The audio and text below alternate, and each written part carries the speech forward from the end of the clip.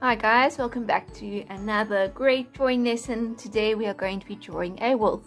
And thanks Mr. Kim for the beautiful um, suggestion of drawing a wolf. There are a few suggestions that we haven't got to yet, but don't worry, I've got them written down on my list, so we'll be able to get to them eventually. Um, but I hope that you can join along with us today. We're going to be drawing step by step, and we're going to be drawing this really cool wolf. So I'm going to be drawing in a pen so it's nice and clear in the video but you draw in your pencil but try not to do any erasing until the end. So you know that sometimes we erase things that are actually really good it causes a lot of anxiety thinking is it good enough? Just leave it and you can always fix things at the end. You will see this wolf he will little, look a little bit strange right to the last moment when we put on his tail so wait until that moment you can erase anything and correct anything that is bugging your eye at the end after you've drawn your whole drawing. Let's get let's get started. On the top left hand side we're going to draw his eye and his body's going to come down, his tail and his legs. So visualizing where his body is, I'm going to put his eye. I'm going to start with a curved line and you can see it's at a bit of an angle and another curved line underneath and I'm going to draw a circle inside that I'm going to leave white. I'm just going to color this eye in. You can color in later if you would like. We're going to have another curved line, so just going up above the eye, we're going to have another curved line that just goes above the eye and stops in line with the eye. Let's do the front of his nose. It's a straight line coming down and another curve line see a little curve at the end and coming in. And stop in line with his eye again. And we can put his nose here. So I'm just to put his nose. Maybe it's to cover over my mistake there. And we can put in his mouth just underneath and also stopping under his eye. Alright let's do his ears. And he's got eye when I practiced drawing these, I found I kept drawing his ears a little bit small. So I'm going to try and draw bigger ears today. But if you're not happy with your ears at the end, you can always change them at the end. Two angled lines with a little curve at the top. And then we do a curved line at the back, at the back of the ear. Right, we're going to do go down and into his chest to start his first leg and we're going to do some zigzags here for his fur as we go. If you are struggling with the zigzags, do a light line first and you can always put the zigzags in on top after. I'm using a pen so I'm going to do my zigzags at the same time and we're going to go down and little angled line and I'm going to go down again and I'm going to come down and around. I'm going to put in his front leg very easy curve line. And then at the back here I'm going to put a little ruffly bit for some more fur and another curve line coming down in. And we're going to do two straight lines for the bottommost leg. And they're getting a little bit narrower. The space is getting a little bit narrower at the bottom wolves are amazing creatures because when they hunt they basically just can run and run and run and run forever. Right, I'm doing a little foot, three little curved lines, and then we just close it up at the end and close up the back for his heel. Let's do his front leg as well. Just following the shape that I have. Straight line coming down and some curved lines. One, two and let's close up. And then we'll put the other one in the front. I think we can even put some claws there. Would be cool. All right. We're gonna go down his back and we've got we want this sort of his fur coming out. So his his um, the shape of his neck is going to come out towards the back. I'm going to do some more zigzags. You can always get the shape more or less and then put the zigzags in after you need to smooth one on his back and around the back of his rump. and let's put in some more food. Right, let's look at the back leg. This back leg is going to curve outwards a bit and then around and around a corner and coming down. And we're going to do the other side of his thigh here. So I'm going to put some furry bits coming down his leg. And then I'm going to come and match up with this line. And I want his feet to be at the same sort of height.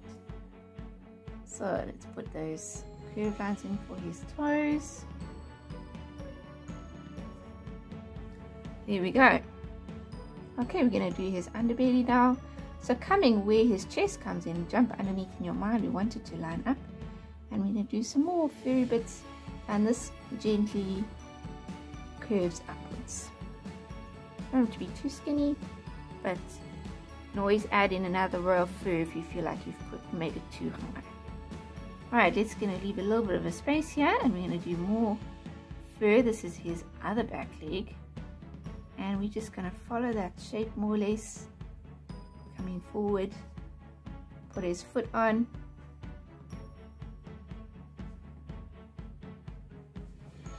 And up.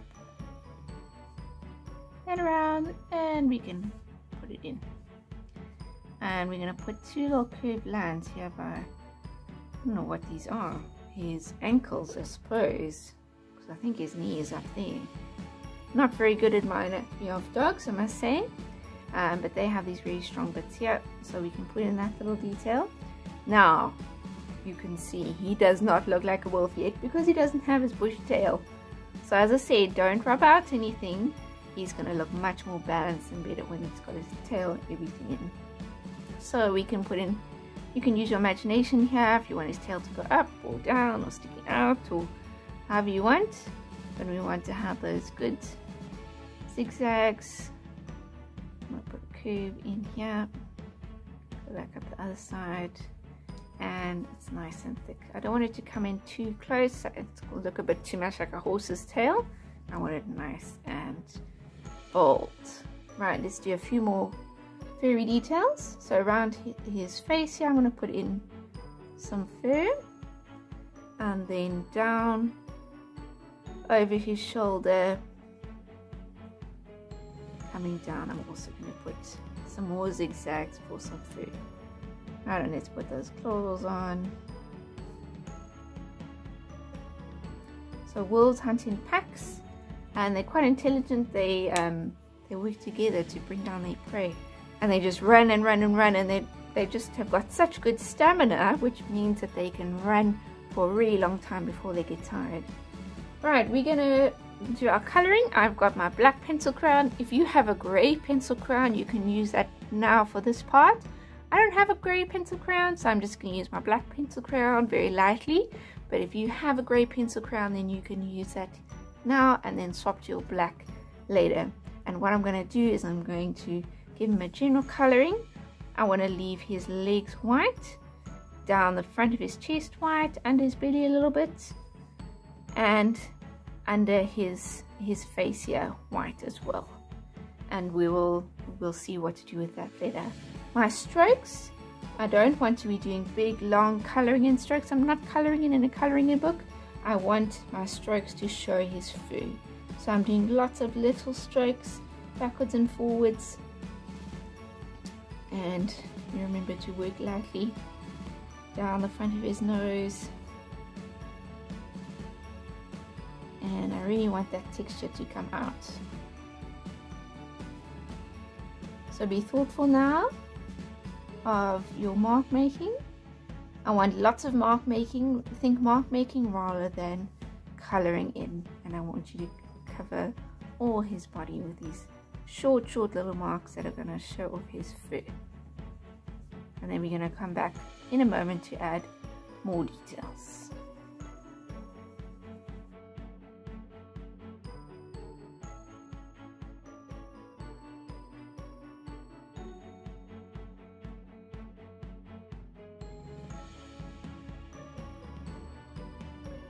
Alright, there we go. I've given him a good covering and I've kept my mark short all the way along. I know the temptation as I get further along that my marks started getting longer and longer. So you really need to make sure that you keep your strokes short and your marks short and just think about how you're knitting those marks together so that you can get a nice even coverage. For his tail, I made my marks a little bit longer. You can too. Uh, I think his fur and his tail is probably a little bit longer. So there, uh, we're going to now, I'm going to sharpen my pencil. I'm going to go a bit darker now. So if you used grey before, you can switch to black now. And we are going to do some of the darker details. We know that a good drawing needs to have lots of contrast. So we've got white, sorry, we've left white very thoughtfully. We are going to shade in some shadows. So this back leg here and this back leg here, we're going to shade gently with our pencil crayon um, because we know that if something is behind and darker, we can make it recede in our mind, in our eye by making by shading it darker. So I'm going to do that.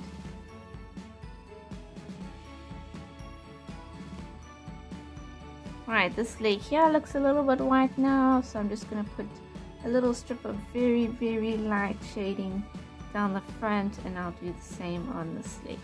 It's very faint, just a little bit of shadow to make it more 3D. Right, we want our dark darks to come in now. So with pencil crayons, it's easier to get a nice dark line when it's a bit sharper. So if you need to, sharpen your pencil. We're going to start here what we imagine to be the middle of his eye, between his eyes, and we're going to put a dark stripe, little zigzags that go up between his ears. And under his eye here, you can also, let's do inside his ears.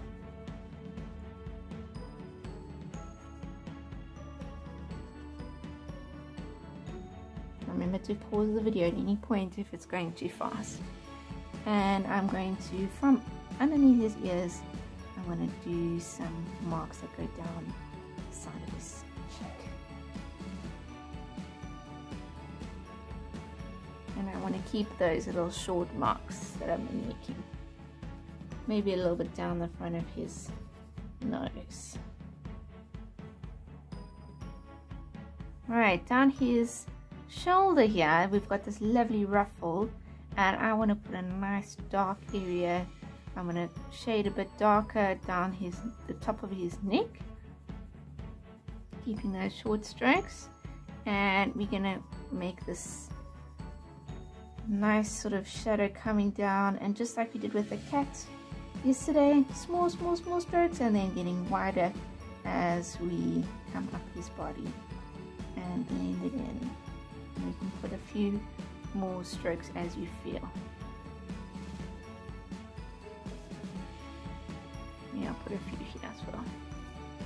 Alright, sometimes your picture just tells you where those dot marks should be.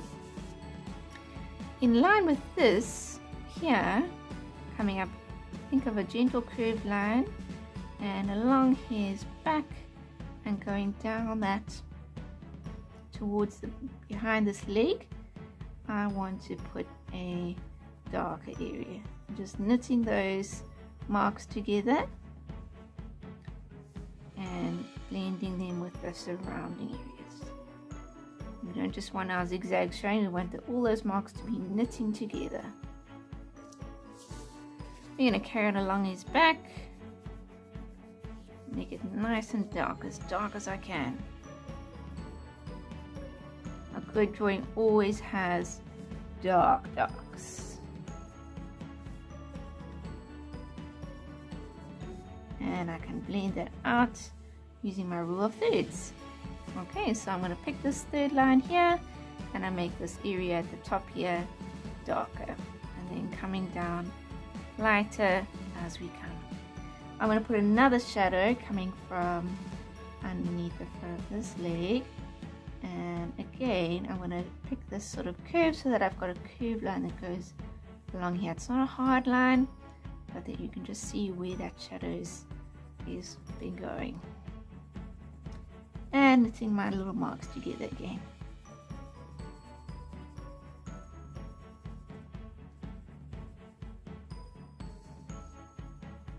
let's come and finish off at the back. Again this is going to give him a lot of good shape.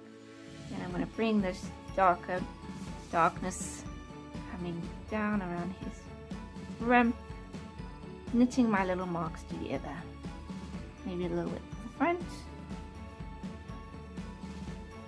I'm keeping this light we're getting some good texture. Right his tail definitely needs some attention and so I'm just going to very simply go oh I need my bit more sharpening. Just a turn or two down the back of his tail and can put it and just blend it in with your marks knitting those marks together as we come down his tail.